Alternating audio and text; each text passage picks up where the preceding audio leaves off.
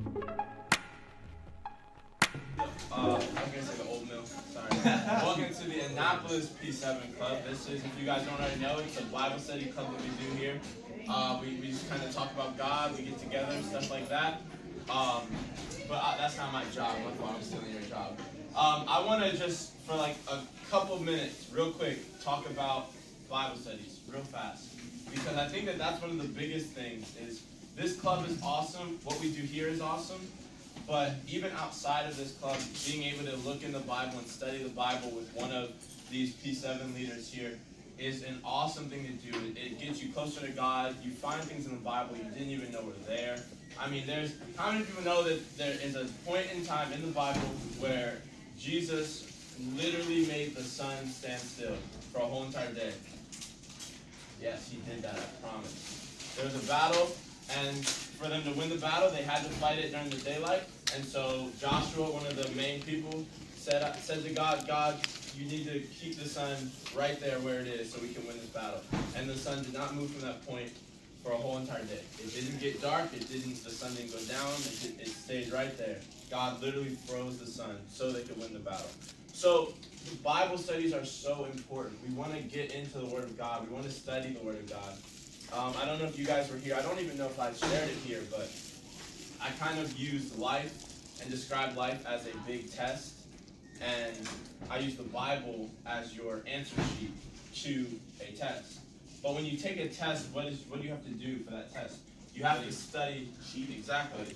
Sheet that works too, I guess. you have to study. And mm. even if the teacher was to give you the whole entire answer sheet to the test, mm-hmm. it would do you no good at all if you didn't look at it and you didn't read the answer sheet. Am I right?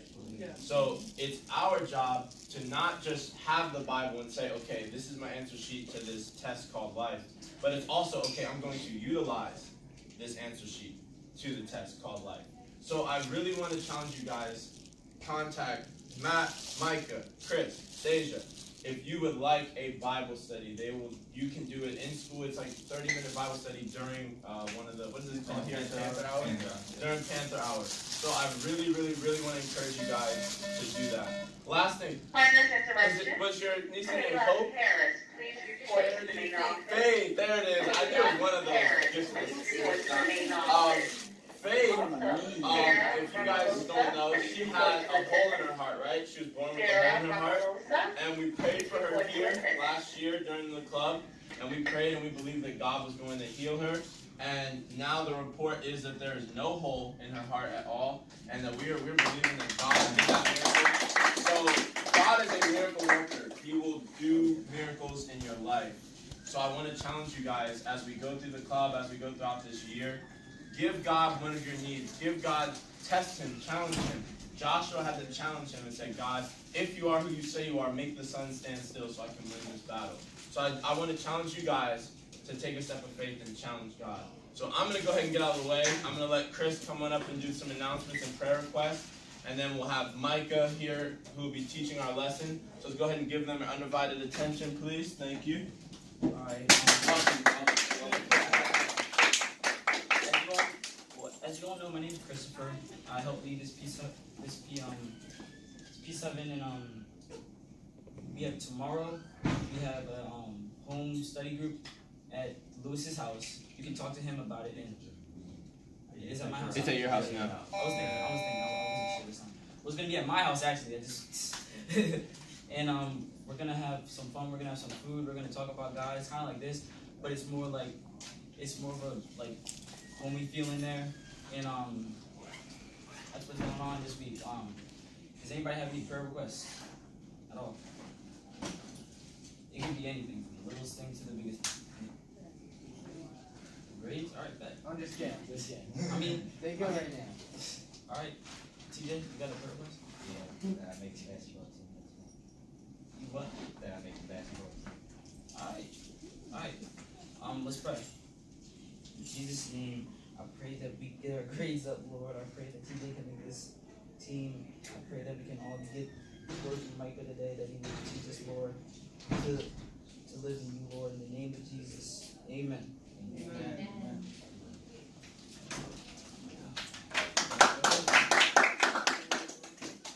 All right, how's everyone doing today? Doing pretty well. How about you? Doing good, doing good, man. Um, I just uh, want to read a quick verse from the Bible real quick before we get started today. And you guys don't have to pull out uh, Bible if you want, but I'm going to be reading from uh, the King James Version.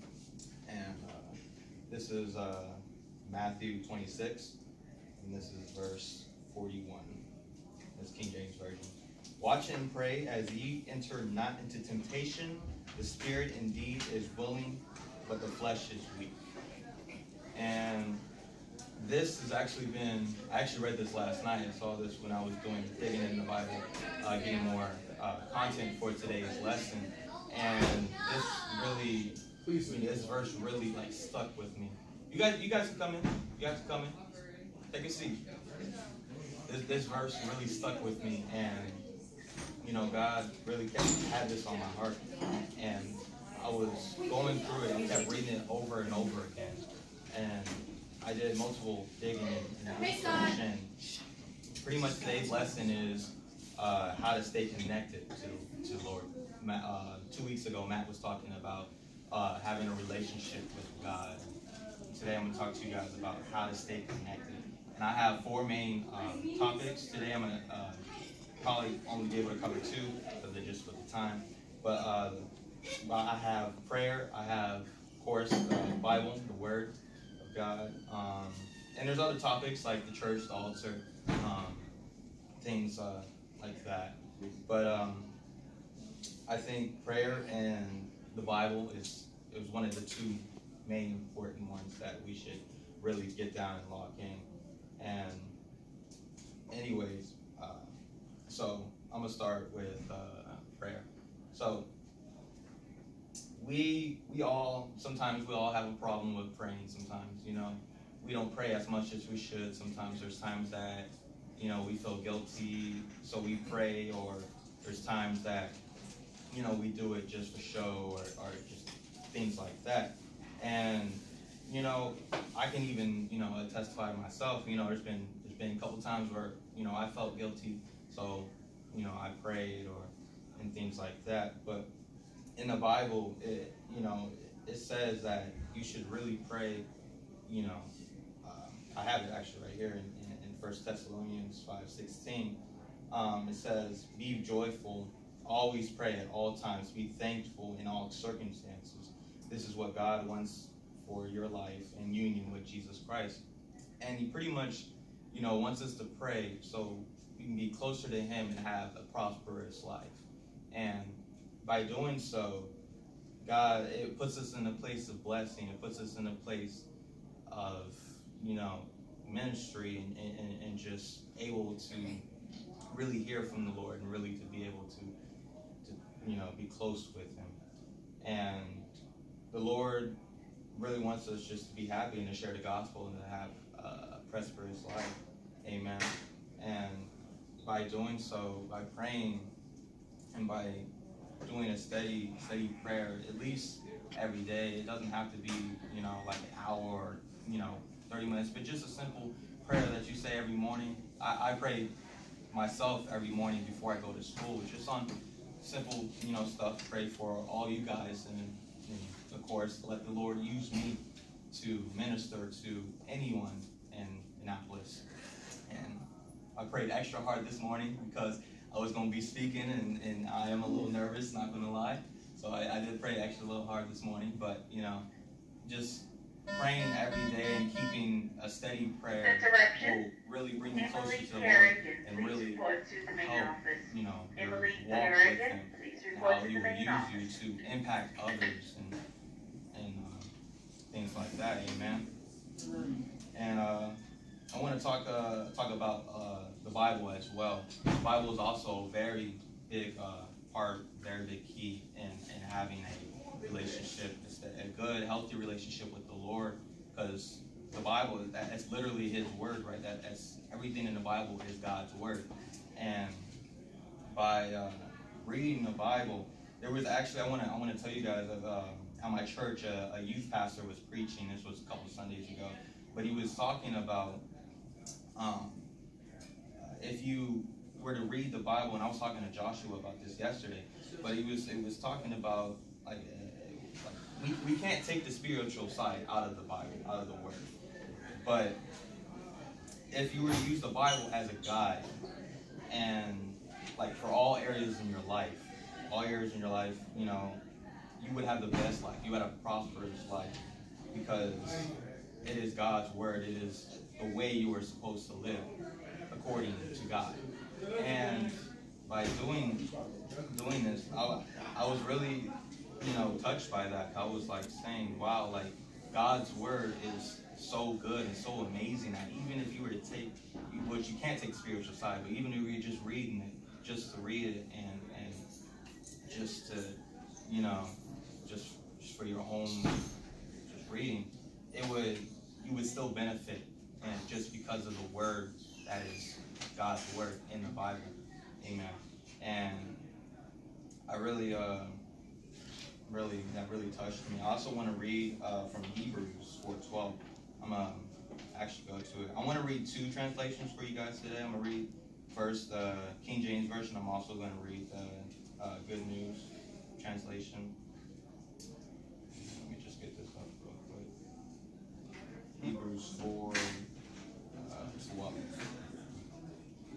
And this is actually um, a verse that you hear a lot. I don't know if you guys, I heard Chris already saying it, but this verse gets uh, said a lot. But I'm going to read the King James Version for you guys first. It says, For the word of God is, uh, me, for the word of God is quick and powerful and sharper than any two-edged sword, piercing even to the dividing asunder of soul and spirit of the joints and marrow, that is the, sin, the center of the thoughts and intents of the heart. And I'm also going to read the uh, Good News version. Just uh, it's easier to understand, I guess. Sometimes the uh, King James version can be a little hard to understand at times, so I like to go through translations and, find um, translation I can understand. That'll be easier for all of you guys to understand as well. Uh, the good, good News translation uh, says, The Word of God is alive and active, sharper than any double edged sword. It cuts all the way through to where soul and spirit meet, to where joints and marrow come together. It judges the desires and thoughts of the heart. And this, what, it, the, Hebrews 4.12 is pretty much saying is that the God, that God's word is living and active. It is powerful. And as we think about God's word, our minds are renewed. And the decisions we make on a daily basis change. This can affect our emotions and actions. When we make the right decisions based on the truth of God's word, we have the access, or excuse me, we, we have the sense of peace and joy and delight. These contribute to a prosperous life according to God's word. And Hebrews 4:12 is is really really powerful verse.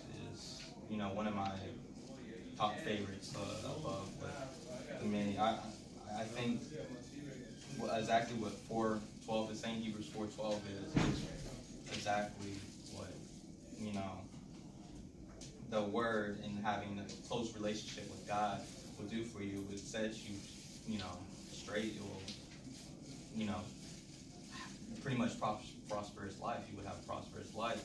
And I just, you know, really believe that, you know, the Bible and praying, these two important topics, will help you have a closer connection with God and have a constant connection with the Lord.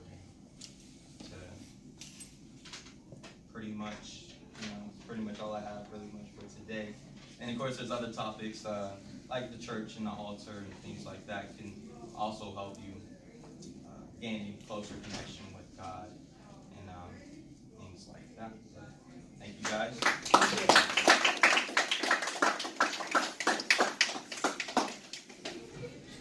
Awesome job, Micah. Does anybody have any questions based off of that? That make that makes sense, everybody, as far as getting a closer relationship with God, getting a deeper relationship with God. There's one thing um, that one of my mentors said to me, and it, it, it spoke to me a lot because it helped me with. I always heard men of God and preachers and everything, and they would say like, "Oh, I was doing this and God spoke to me," or "I was doing this and God talked to me." And I'm like, "Dude, what are you talking about? Like, God doesn't talk to me, so like there has to be something wrong with me.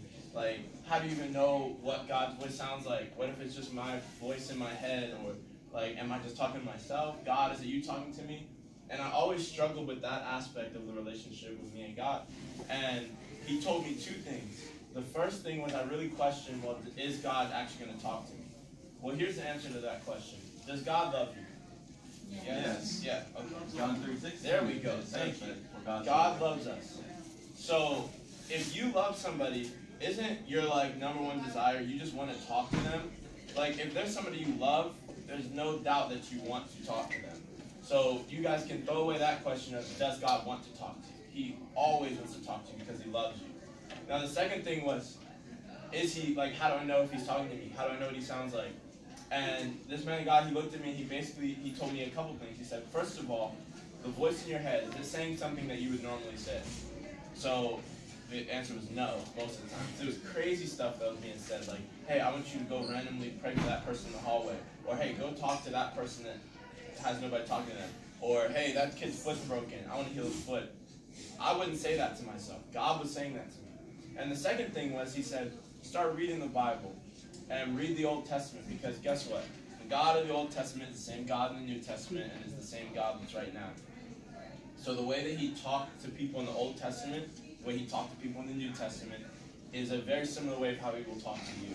So if you want examples of God speaking and what it seemed and what it was like when God spoke to them, and when God spoke to Abraham, when God spoke to Moses and Peter and Paul and all these people, you go in the Word of God, you find it, and then you say, okay, so God does talk, and He talks very clearly.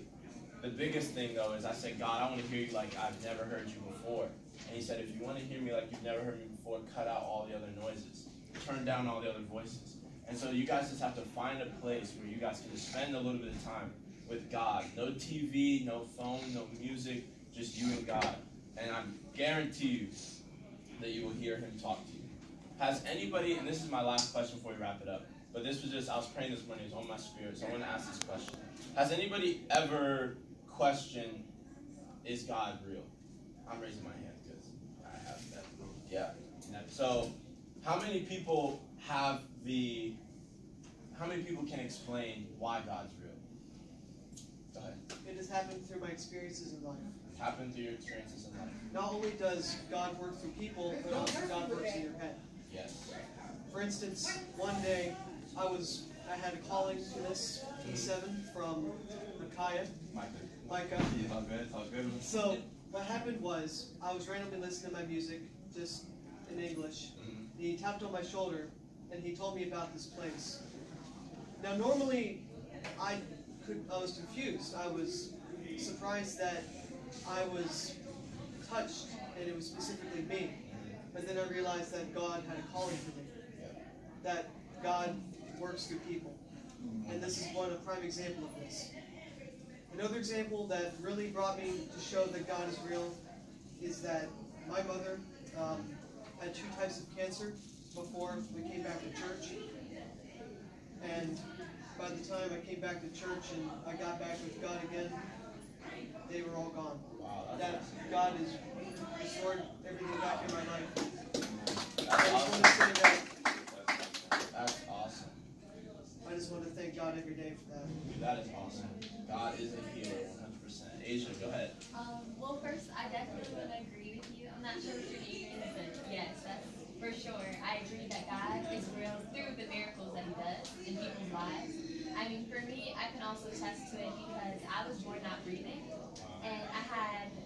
One percent chance of living, and like my parents like didn't think that like they were gonna like they didn't think that they were actually gonna have me and like have a chance to like have a daughter. Yeah. And so every time my parents tell me this story, I'm just like, wait, what? It's crazy. Like, I mean, of course I don't remember it, but it's just, it continues to remind me, like, God does have a plan for my life. Yeah. But yeah, so the fact that I was born not breathing, and then like 10 seconds later, um, they heard a cry.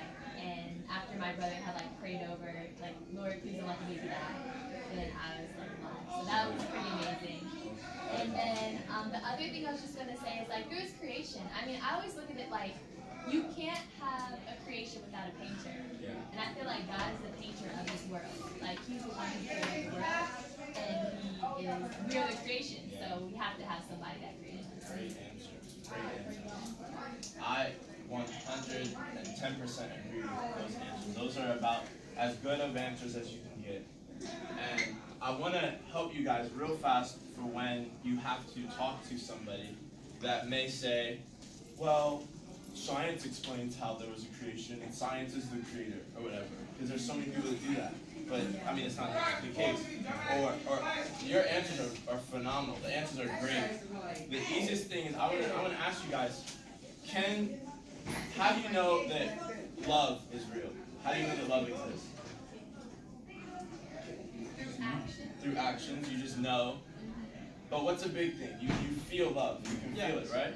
How do you know that wind and how do you know that air is real? You can't see air. And you, you feel it, you breathe it, you can see you can see the wind when it interacts with the trees. But here's the coolest thing is you know that air is real when you see what it touches. Because when it touches something there's an instant reaction. So how do you know that God's real even though you can't see him? Because of what he touches. When God touches something or someone, it's immediately a, a reaction. When God touched you, you felt the reaction and you came here. When God called you back to church, He touched you and touched your mother, and there was a reaction, which was the healing. When God touched you, there was a breath and there was a cry when you were when you put life. When God touched the earth, there was a reaction. There was beauty made of it. When God touches you, there's a reaction. There is a reaction every time God touches something. So when somebody questions, well, I can't see God, you tell them, well, you can't see air either, but you can feel air and you can see what it touches. So you say, you want to feel God? Because God will touch you right now. God will touch every single person in this place. If there's been somebody struggling with, well, I haven't felt God. People always talk about God, and I'm here because this is my last resort, because I don't know what else I'm supposed to do. God wants you guys to have an encounter with Him. God wants you to be able to feel Him, not just hear about Him or anything like that. And I, I really believe that throughout this year, each and every one of you is going to have an encounter, have a moment with God. I had a moment with God at church on, on my face in the altar where God completely turned my life around. I had a moment in the backseat of my car when I was four years old listening to some Israel Houghton song with tears falling down my face as God was touching me. That is what God wants to do for each and every person in this place. So I want to pray really fast, and I believe that everybody in this place is going to feel God when we pray. And when you're done, you're going to leave and you're going to have something right here. And it's like, man, God just did something. And when you feel that, I want you to connect with one of these P7 leaders, and I want you guys to say, whatever I just felt, I want to know more about it. And let's get in Bible studies. So let's pray real quick.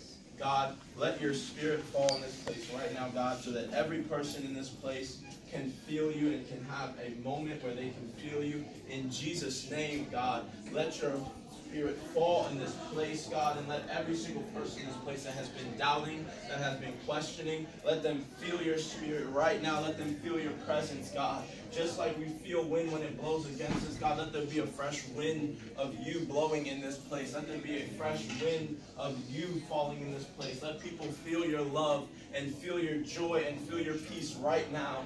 In Jesus' name, God, we are believing that, that every life will, will not stay the same, God, but every life will be changed, God. We are believing that people that have a broken home will go back to their home and it will be whole, God. People that are feeling depressed will be touched by you and that depression will leave. People that are anxiety will be freed from it. In Jesus' name, God, stay with each and every person and touch each and every person's heart, God, and let them feel you and let them want to know more about you, God. In Jesus' name, we thank you for your love. We thank you for your grace and your mercy, and thank you for being you, God. In Jesus' name, amen.